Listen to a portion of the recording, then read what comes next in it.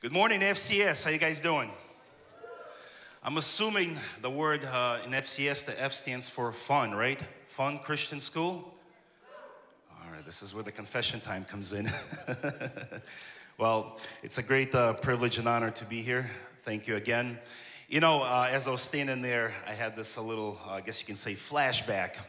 Uh, when I was still back in high school, that was actually back in the 1950s when I was attending high school. And some of you are like, 1950s, Stan, are you that old? No, I'm not that old. I just want to make sure you guys are still awake at this early hour. But no, when I was uh, in high school, uh, my senior year, we had these, I guess they were called Bible clubs back then. And I remember I was sitting where you were sitting, it was in a classroom setting, and we would have like a guest speaker or a pastor share the word. But here I am years later down the road in front of you, having this privilege and opportunity to speak to you. And who knows, maybe for some of you here, years down the road, maybe a few decades down the road, you might have that same privilege and opportunity. So it's great to be here. Do you have any Braves fans in the house? All right, one. Okay, okay, that's awesome. The rest must be Astros fans. Sorry, we'll pray for you guys. But, uh, you know, uh, before I jump into the subject that I want to talk about, which I believe is very important, just something in my heart, I want to ask this question How many of you here have friends, or at least one friend? Okay, okay, that's good, good, that's awesome. How many of you here would like to have more friends? Nothing wrong with that. How many of you here have bad friends? No, no, don't, don't raise your hand. Don't. It's not confession. Oh, hey, confession time again. Okay, look at that. Honesty, huh? But you know what? When it comes to um, friends or friendships, uh, that's something that's important in our life. It's part of our life. And that's what I wanted to talk to you uh, shortly about this morning about friendships. Kind of sounds like a school some of you are attending. Anyway, and the importance of friendships and actually the power of friendships. And I'll use a few examples today, uh, both in a negative perspective and in a positive perspective, uh, concerning friendships and what role friends play in our life and what role you as a friend play in someone else's life. And what I discovered is this that it does not matter what age you are right now, what age you will become in the future, we all want to still have a friend in our life. Because sometimes some of the most I guess you can say miserable people or people who are down or even depressed are those who do not have friends in their life. Just yesterday was uh, my birthday. I turned uh, 25. And uh, again, making sure you're awake. And uh, the day before that, one of my friends reached out to me, a close friend, is like, hey, Stan, I'm gonna pick you up, we're gonna go hang out. And I said, okay, that's fine. And I knew we were gonna hang out, you know, the day before my birthday. And as he picked me up, we drove, uh, you know, to the restaurant. And when I got out of the car, there's another group of my friends already waiting for me, and it was a pleasant surprise.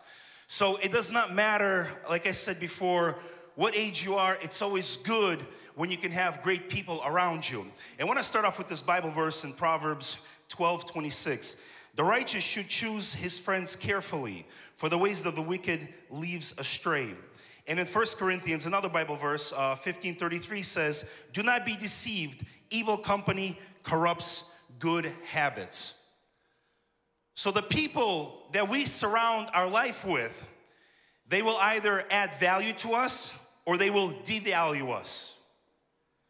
In other words, the friends that we have in our life, they will either bring something good to us, it doesn't matter what it is, or they will actually take something away from us. And I want to start off by using this example. Props, yes. In my hand, I hold a lighter. Come on, work. Yes, thank you. This lighter over here, is it good or bad? Oh, all right, both. Okay, all right. I'm talking to an awesome crowd. It's both. I can use this lighter to prepare food, to cook food, to start a fire if I'm doing camping. I love camping. But then if I light up this lighter underneath my hand and hold it there, what's gonna happen? Pain. Or if I got nothing else to do, let me just light up this lighter right over here underneath the seat and see what happens. So this lighter over here, it's almost you can say neutral. It could go in either direction, either good or bad. Whoa, Stan, what is that? It's a butter knife. I didn't want to bring in another sharper knife. It's a knife. Is a knife good or bad?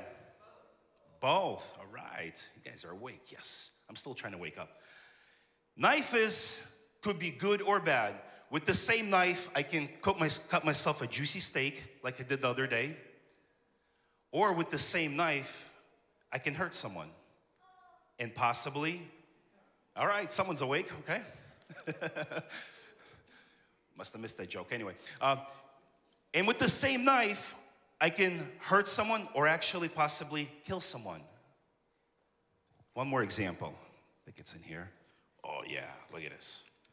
Mr. Benjamin, $100. Just printed this this morning. No.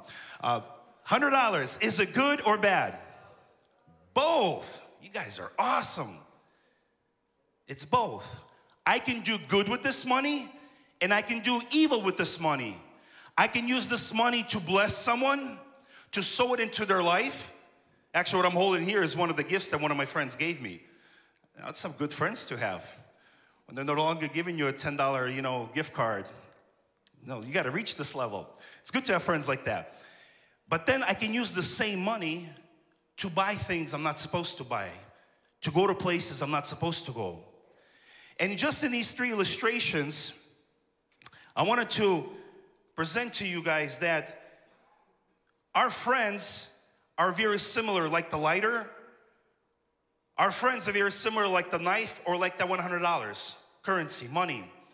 The question is, which side is that friend or friend exemplifying?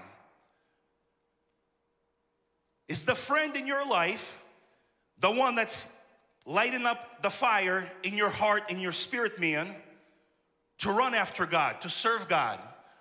Or is that friend in your life or friends in your life doing opposite, drawing you to the other fire that comes from another source, the devil himself?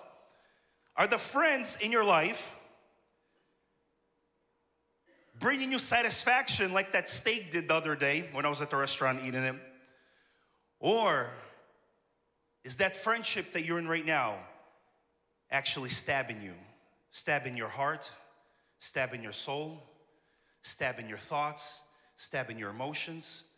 That at the end of the day, you just come home, you're like, oh my goodness, it's so difficult for me to be friends with that person. It's so difficult for me to be around those group of people because I feel like they're just stabbing at my heart and my soul. And what about the currency?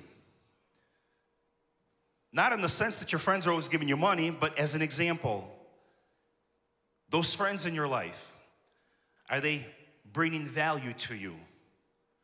Or, see, there's two groups of people when it comes to earning money those who choose to earn it and those who choose to steal it. Because they think that's also like a job. Well, I went, I robbed the bank, I got money, well, there's my payday.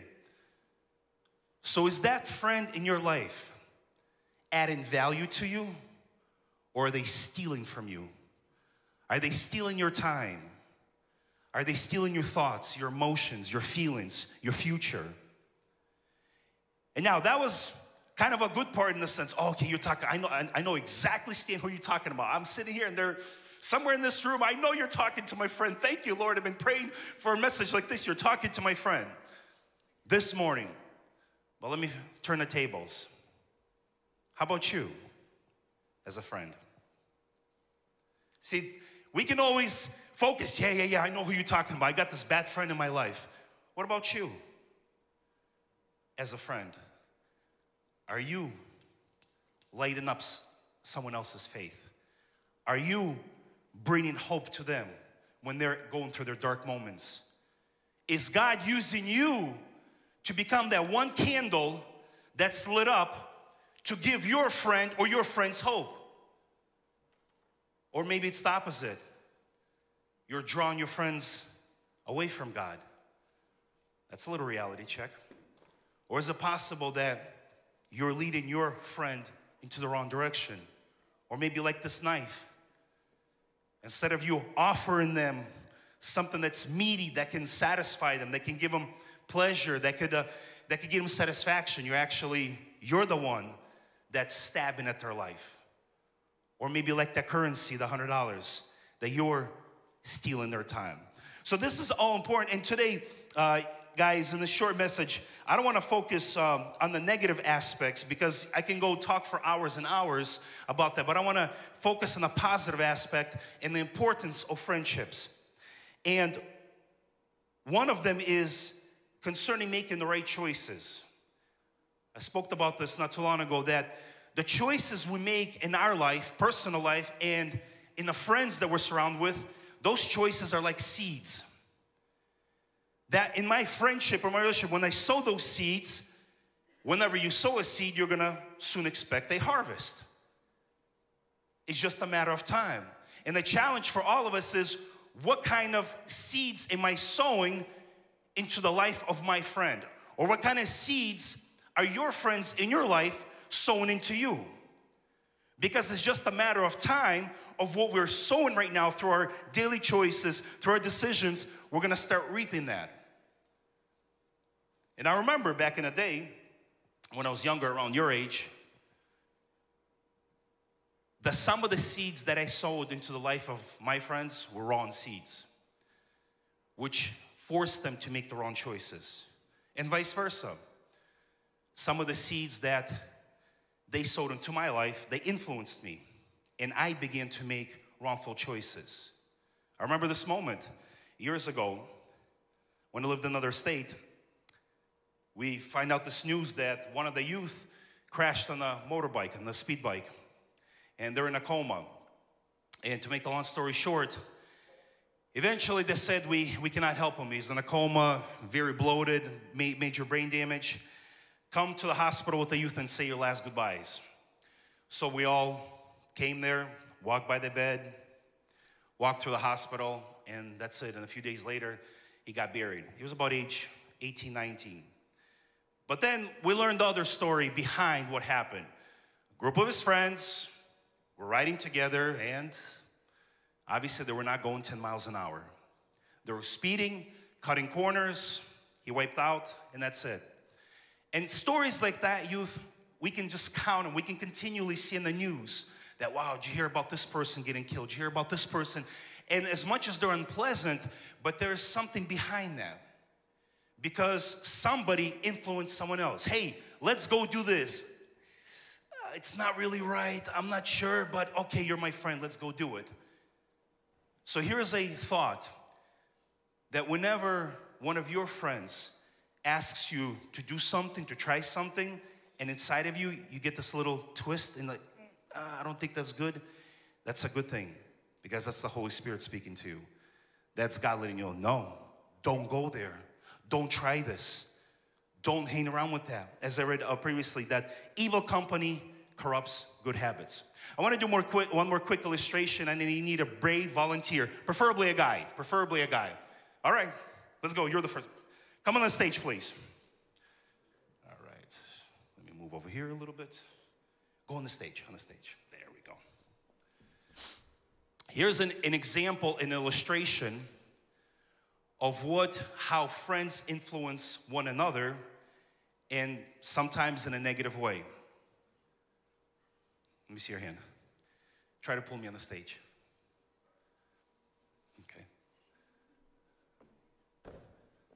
You see what just happened? And I pushed them off. Who was in a stronger position? I was. Let's give him a hand. Thank you for it. The example here is this is an illustration of how friends can easily influence one another in a positive or negative way. It seemed like he was more on top, supposedly in a better position supposedly seeing things from a better perspective, but I was able to pull him down. And this is where youth, if we're not careful enough, when we surround ourselves in the wrongful environments, in the wrongful groups, that little by little they start pulling us down. While we think, I got this, I, I come from a good family. I came from a good family. My dad was one of the pastors. But I'm not, I wasn't no Stan the saint back then. I was Stan the sinner back then. And I had wings on my back, but they were not wings of angels, they were the wings of the fallen angel because I was following someone else. Because I was surrounding myself with group of people that were doing the things at that moment I thought was cool, only later to learn it wasn't cool. And in Proverbs 27 17, it reads this As iron sharpens iron, so a friend sharpens another. Here's the fun part. We as people, we get to influence others like iron sharpens iron. You as a person, you can influence someone else. And there's a story in the Bible about these three Hebrew friends, Shadrach, Meshach, and Abednego. When they were taken to captivity as teenagers, they were forced to eat the food that they felt was not in alignment with what God allowed them. And to drink what they said, wait a minute, God forbids us to drink wine. So those three Hebrew friends, they made a decision. We're not gonna eat of the king's table. But that could have gotten them to trouble. They're like, no, our position before God, our maker, no, if that if that means we're, gonna get in trouble or maybe killed, well, let it be so. But those three friends, they made a decision. We're not gonna eat what the king is offering us. And eventually, the final results came out much better because the person that was overseeing them got concerned, but then he saw them much more healthier than others and etc.